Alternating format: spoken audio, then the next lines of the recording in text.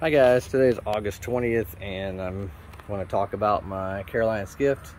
Uh, this video is mainly to get to the uh, warranty department of Carolina Skiff. Uh, this boat I bought brand new on Wednesday.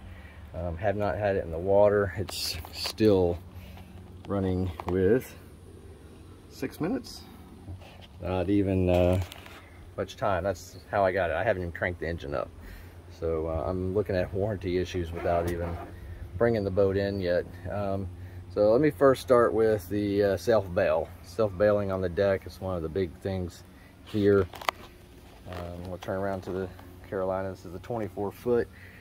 It slowly, slowly drains out. When I have the water hose in here, the deck fills completely up until it starts pouring out of the port side. The starboard side is clogged. I had already called that in. Um, they told me that I need to take it in for service, have somebody take care of that.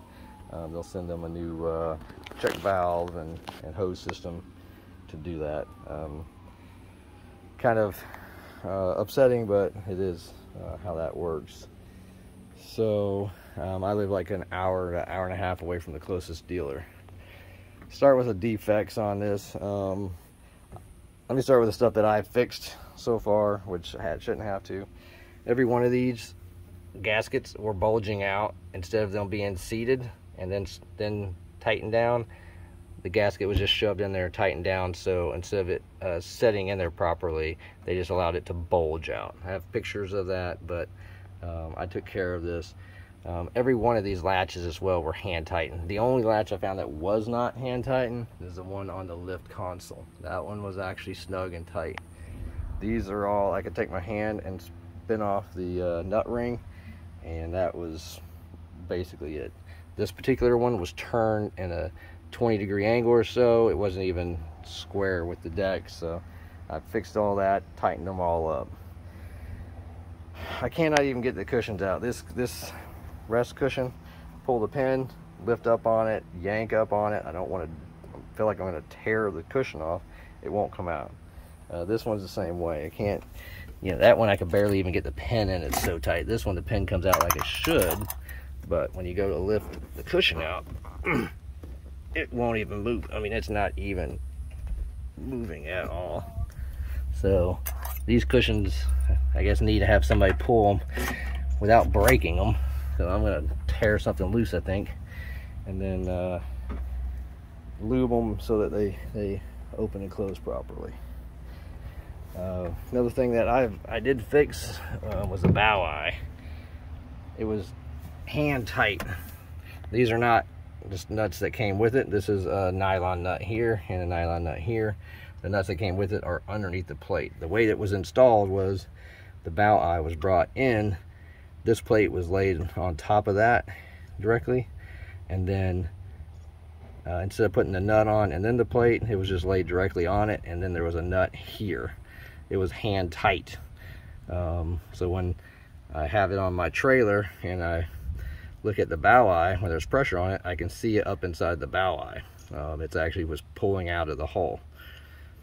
So I went ahead and fixed that. I used OSI Max white caulking filled into the hole uh, on top and bottom and around the uh, plate on the exterior. I'll show that in a few minutes. And um, then brought in the, the bolt, snugged it down tight behind here, and then added this, you know, plate, then put on lock washers and nylon nuts to keep it from coming loose. And then I put on this acorn nut. It's a little bit in the way, but um, it will keep the rope from chafing. This bolt side stuck out about a quarter of an inch to half an inch, and a quarter about three eighths uh, compared to this one's nice and flush. So I was worried about the rope getting chafed, uh, hitting that, hitting that. Um, while we're in here, show the cracks. Um, apparently my shadow is in the way there. I have cracks, stress cracks already in this bow locker. That's um, not even been on the water, getting beat up. So that drain has cracks around it. That's uh, a little unsettling.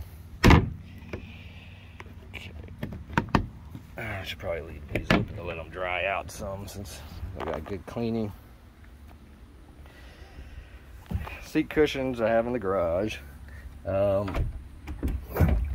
one thing that was kind of disappointing was Christian at the boat place in Pompano Beach where I bought it told me there was it only comes with one seat but I'm reading on the specs it's supposed to come with two fishing seats so I got shorted a seat fishing seat uh, bow lockers are working well. Do appreciate the hydraulics on those. Uh, this also didn't come with a bucket which I think there's supposed to be a bucket in here. But I guess uh, I should have known that before I went and bought it because the stuff was missing. It's all in Pompano Beach which is four hour drive from here. Alright, so on the, uh, let's go with the LED lights. LED lights, um, this light's not working. Here. Um, that's on the starboard side cup holder bow. And come back here. The LED light inside this locker on the starboard side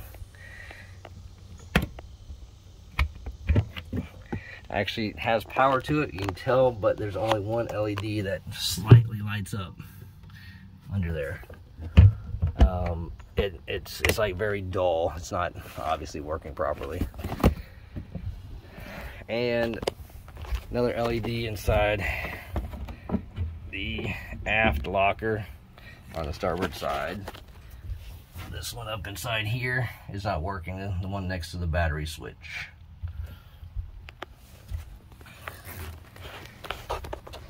So those LEDs are not working. And then this LED for um, the docking backside is uh, only 50% of it works. The two, as I'm pointing this at it, the two on the right um, work. The two LEDs on the left do not work. And I'll turn it on and show.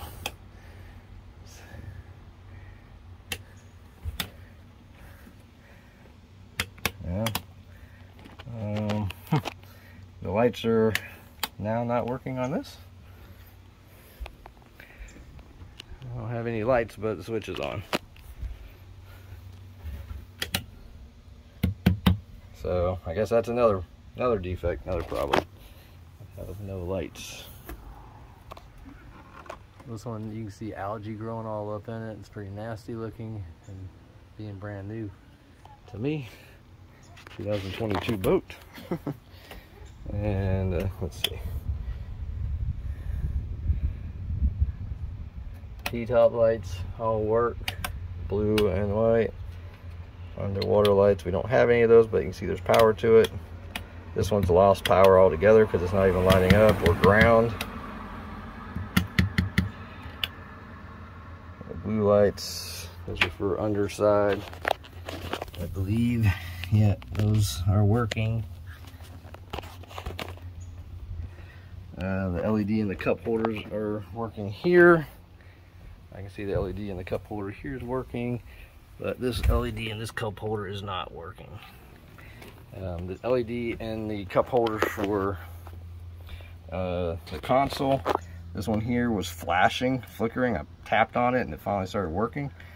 Um, it seems to be working good now, but uh, it might need to be replaced. Um, it's kind of disheartening that you have to you know, tap on them and stuff. It hadn't even been used. So all the cup holders here work and the one over here works. Okay, so one cup holder LED light is out. That's a recap. Storage locker here, light LED light out. Uh, one of the LED lights, the one closest to the battery shut-off switch in the uh, aft is out um, for the underside. And half the LED light here didn't work. That's on the uh, back for the docking, and now the docking lights all together are not working. No power. You see there's power to this one. You see the light turns on. Underwater lights, there's a switch here, but I don't have any underwater lights, I guess because there's nothing back there. Uh, T-top lights, they're working, but my dock lights have stopped working. So, new problem, dock lights are in op. Never in water.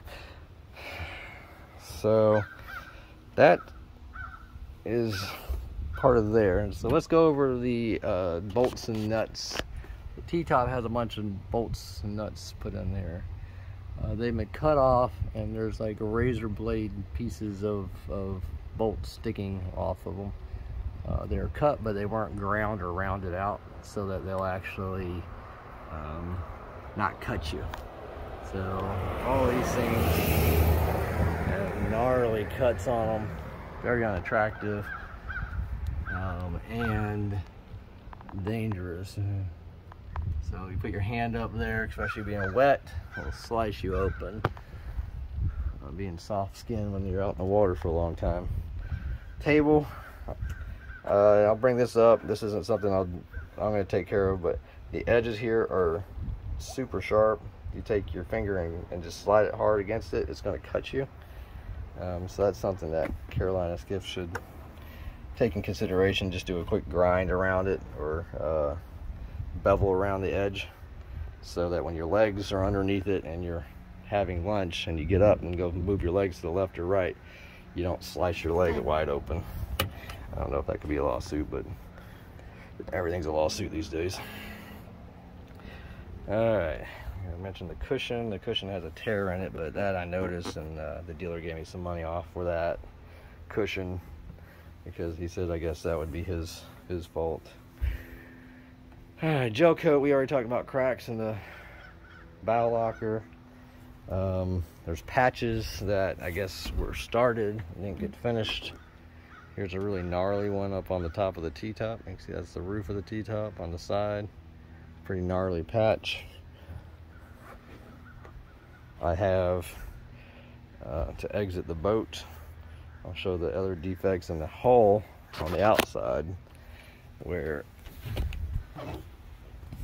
there we go. There were patches that were started to be done. Let's go from the uh, bottom of the transom here. Let's see if it'll focus in. There's a patch there. Needs to be done and a whole lot of scratches facing downward. I'm not sure what that's from, but that could probably be just buffed down and cleaned up. Um, that's one patch in the blue over here there's a couple of spots that this is on the port side um, there's a black speck right here. I'm having a hard time seeing if it's viewing because sunlight glare but there's a black it, it, looks like it's chipping out. Can't tell for sure just under the rub rail but it almost looks like a chip or a, a dirt in it one of the two. Dirt in the mold whenever it went in. Front bow eye focusing on that. There's a patch here and a patch right here I have a fairly good size chip right here I'll try to get to focus in for you there we go well, so a decent sized chip right here on the bottom of the keel. That's uh, an entrance. Here's the outside of the bow eye. Um, as I said, I, I reset it, snugged it down. I uh, didn't over tighten so it won't crack, but snugged it down and then put some locking lock nuts behind it. So nice clean look, how it should be. But unfortunately, I had to take care of that. Uh, so those are uh, the patches on the boat that need to be fixed. I'm not sure. And then of course the defect in the in the blue. Not sure why it's there. But also I have a defect which isn't a horrible deal, but you can see the way they cut the stripe uh, went and this is kind of dirty. This is the scupper that uh, the water's not coming out of. Uh, I put a, a, uh, flathead screwdriver on here, a little small one, to pull this forward a little bit to see if it had uh, blockage in it, and the whole scupper fell out, literally fell out. Um, and I had it in my hand, and I had to reset it in there, and it appears to be in there nice and tight. But it did even, I mean, it literally, if it was in the water, it would have fallen out and I wouldn't have had no scupper. Um, the other side, on the port side, that screw right there, it was loose. Whenever I did this, that little metal piece just dangled around and stuff. It was super loose, um, which once again, that's fit and finish um, for for not, I mean, for the uh, not having uh, the stuff taken care of before the boat's being sent out. Uh, underneath the swim platform, similar problems. Screw hanging out here, screw hanging out here, no screw hanging out, not even into the nylon, so that one doesn't have anything keeping it from backing out. And another one where the screws is barely into the nylon. Um, these are super sharp, you can tell they were cut off. Um, and so is this one here uh, that holds the rail. Um, I see there's caps up there up front, but none on the back. And some of these caps, you just slightly pull on them and they just fall off. They're not, I mean, they, they're not going to stay on there. So um, I don't understand that concept. They had to be caulked on or something. But it is disheartening that, you know, these are installed and that's just not a proper install. Uh, manufacturer of the nylon nut, they would say that's not going to do its job whenever it doesn't actually reach all the way through. So I believe that concludes the video. I have have uh, photos of all this that I noted down to send an email out, uh, but there's a lot of photos, and unfortunately, that takes um, takes a lot of time. Oh, there was another thing, the rod holder see if I can zoom in on it since I'm outside the boat. The rod holder on that side, you can see it there uh, against the hull, is missing both the screws. So the top of it's not even attached to the uh, gunnel. The bottom is, but uh, as soon as you hit it, it just flops around. Um, so pretty disappointing to spend $80,000 on a boat and and get home and start cleaning and start looking at going, wow, um, all this stuff should have been taken care of. Uh, I believe I missed videoing these scratches too. Um, right here at the very tip of the bow. I can, because of the shade and stuff, see if I can get it. There's a lot of scratches going, coming out from underneath the bow rail. They're deep. They're not something that could be just easily easily taken care of. Might need some uh, fine grit sandpaper, wet sand it, and hit it with a buffer just to lighten them up. I don't think they're going to go away. I don't like any of that stuff being done because I know when you're doing that, you're taking gel coat away. But those are actually fairly noticeable and wax and everything's actually embedded into it. So it's easily seen whenever you're cranking the boat on the trailer all right once again it's august 20th and that's my video um, hopefully i can get the service done that's needed and it will happen in a fairly timely manner since i hadn't even used the boat yet i'm I just want to make sure it gets put into the system uh, before I even use the boat because I do not want uh, anybody coming back and saying, oh, well that was caused by uh, your you or misuse or something along those lines because obviously I don't I wouldn't be able to uh, to um, handle that. I'd be pretty upset if they came back and said it was because of me when obviously this is something that's uh, should have been taken care of before it ever left the plant so all right well Frank's out and uh, we'll get another video in if uh, something doesn't come right um, or something something doesn't get taken care of like it should be.